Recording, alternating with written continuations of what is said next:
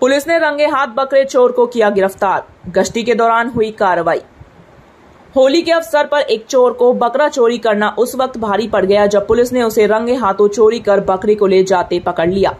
गश्ती टीम को देख जान बचाकर गिरते पड़ते भागने के दौरान छोटे भी आई, बावजूद इसके चोर पुलिस के हत्थे चढ़ गया। मामला ज़िले के सहायक थाना लोहिया नगर इलाके अंतर्गत सर्किट हाउस स्थित फ्लाईओवर के निकट की है। आरोपी की पहचान मुफसिल थाना क्षेत्र के रजौड़ा गाँव निवासी मोहम्मद शकील का पुत्र मोहम्मद फैजान के रूप में बताया जा रहा है। आरोपी ने बताया कि पहली बार चोरी किया और पुलिस के हत्ते चढ़ गया। उसने बताया कि बकरे को फफौत गाँव ले जाकर उसकी मोल जोल के बाद उसे बेच देता। घटना के संबंध में ओपी अध्यक्ष अमरजीत प्रसाद सिंह ने बताया कि पुलिस गश्ती के दौरान यह कार्रवाई की गई है। ओपी अध्यक्ष ने बताया कि गश्ती टीम पन्हास की ओर से लोहिया नगर की ओर बढ़ रही थी। तभी सर्किट हाउस स्थित सड़क पर पुलिस को देख युवक बकरे को छोड़ भागने लगा। तभी पुलिस ने उसे खदेड़ कर पकड़ लिया और पूछताछ के बाद चोरी करने की बात सामने आई।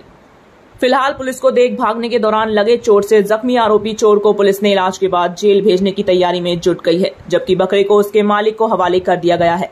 आपको बताते चलें कि बेगूसराय में एसपी के सख्त दिशा निर्देश पर आपराधिक मामलों पर नियंत्रण को लेकर ज़िले में कई तरह के अभियान चलाए जा रहे हैं, ताकि अपराधियों पर लगाम लगाया जा सके। चलाए गए अभियान के परिणाम भी सामने आने शुरू हो गए हैं, जहाँ टॉप टेन सूची के कुख्यात बदमाशों से लेकर छोटे से छोटे मामले में भी कार्रवाई करने से पुलिस नहीं चूक रही है, और सख्त गश्ती का नतीजा है कि एक मामूली चोर को भी चोरी करना भारी पड़ गया, जहाँ पुलिस की गश्ती टीम ने बकरी के साथ रंगे हाथों चोर को पकड़ लिया।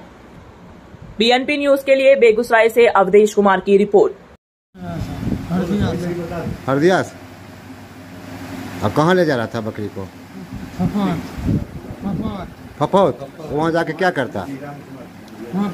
करके बेच देते। हैं बेच देता किसका? किसका चुराया था? नाम जानता है जिसका बकरी? इसके पहले कितना चोरी किया है? पहली बार किया है पहले बार? कैसे पक, बोलते हैं सर। अच्छा। पहली बार किया। कैसे पकड़ा मतलब कैसे पकड़ा गया? पकड़ लिया। उधर से भी पकड़ लिया। क्या नाम है तुम्हारा? पिताजी का नाम? शकील। घर कहाँ है?